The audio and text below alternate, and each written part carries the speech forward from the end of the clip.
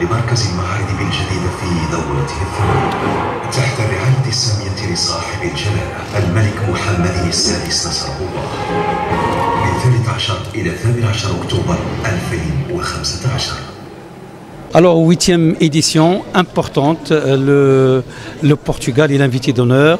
Euh, je pense qu'il va y avoir des shows très intéressants. Il y a une compétition également du cheval intéressante. Euh, les équipements euh, seront également au rendez-vous.